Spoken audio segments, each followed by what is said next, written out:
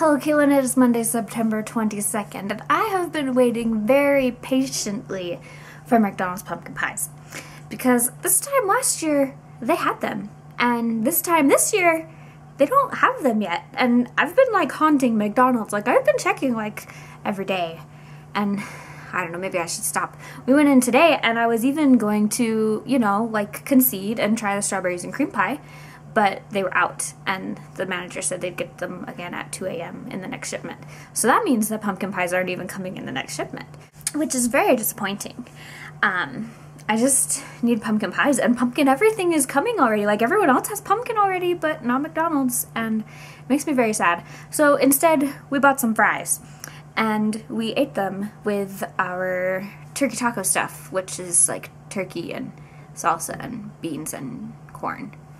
It was really good actually, and there's actually quite a precedent for um, eating fries with meals of that variety. I've managed to obtain an exclusive interview with a French fryologist, um, and I'll, I'll just leave it to him to explain the subject.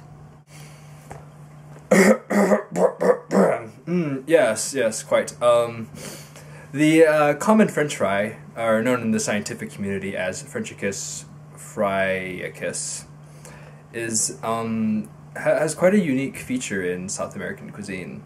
Um, for example, in Peruvian cuisine, there is a dish called lomo saltado that uses cuts of um, beef with some exquisite fries. Exquisite.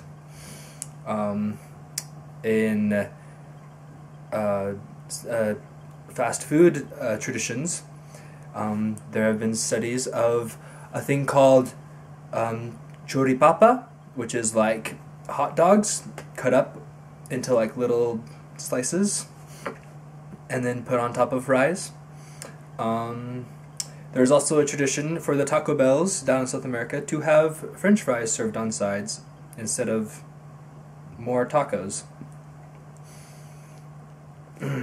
Quite. Um, in addition, it is um, eaten alongside street carts and little like ice the like the little like triangular cone things. That just put them in a paper cone and you eat them and it's delicious. And they commonly eat them with mayonnaise um, and ketchup and all sorts of common confectionaries but mostly ketchup and mayonnaise. So the Utahns should be quite familiar with their customs. Um, yes. So there you have it, folks. I hope you have learned some new things today.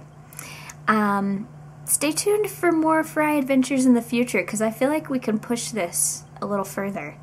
Um, also, I would love to do a question video next week, so if you want to leave me some questions down there, that would be great. Thank you in advance.